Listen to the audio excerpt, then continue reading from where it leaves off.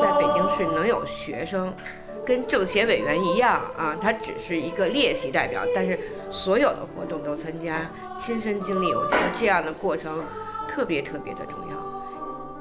从二零一三年开始，最先开始就是一个自生的过程，因为政治课要讲政协，我是政协委员，所以我们就有了这样的联系。慢慢的，这就是打开政协与学生接触的一个窗口。他们要发现学校的一些问题，提出他们积极的提案，监督我们张榜去公布哪些问题，我们在什么样的时间解决，把这个协商民主、参政议政根植到孩子的骨髓当中、血液当中，同时也推动了学校的发展。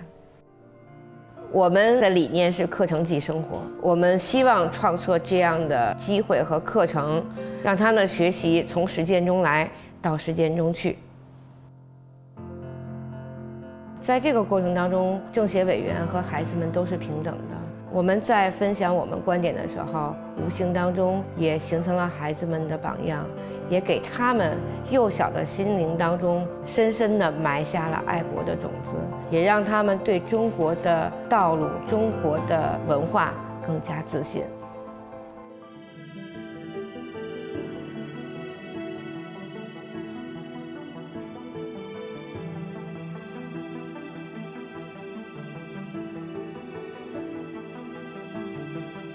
当今中国的教育非常棒，我特别深切地感受到中国教育的位置，中国孩子的这样的一种自信。去年中分、中美校长级别论坛的时候，讲美国的这个课程演变的体系，当时我们有一个孩子举起手来说：“我觉得你们美国的课程不科学。”当时那个校长就特别瞠目，说：“为什么？”他说。最重要的是运动，你们的课程里头没有运动，没有健康，没有运动，生命就没有底色。不在乎他说的对和不对，我觉得对于孩子能有这样的勇气，能够面对美国的校长发声，的确让他们也觉得中国的学生了不起。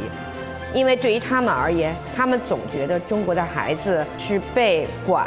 被灌输的，没有美国的孩子那么自信。没有美国的孩子那么自由，没有美国的孩子能力强，但是实际上不是这样的。我们很坚定地迈向了从世界引领走向引领世界。我们也希望能够给未来教育的发展起到一些领航的作用，让我们去引导孩子树立正确的价值观，能够有胸怀天下的担当，中国自信的微笑。